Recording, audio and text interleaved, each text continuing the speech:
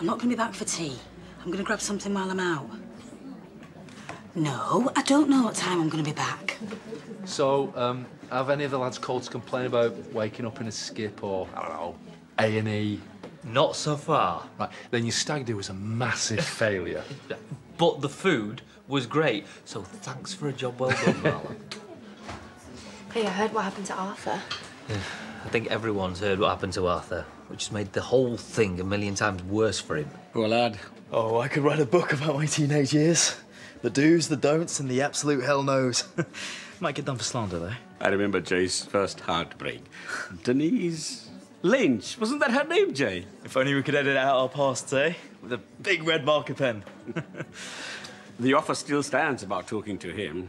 It can't do any harm. Are you serious? You can do a lot of harm. I just want to help. Who? Arthur or you? Come on now, we don't need another scene, do we? At least not unless I'm playing the starring role in it. You wormed your way into my stag do. But nothing has changed between us. Nothing. Please, Jai. How many times do I need to tell you?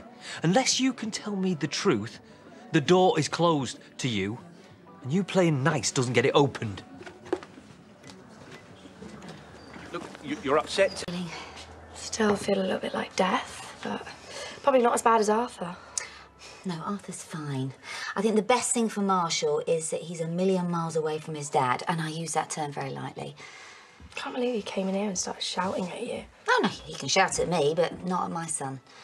Oh, you right, love? Yeah, I'm fine. Are you hungry? Do you want something to eat? Dunno. Oh, I'll make you something nice. You sit down, yeah? I'm fine. No, I'll make you something nice.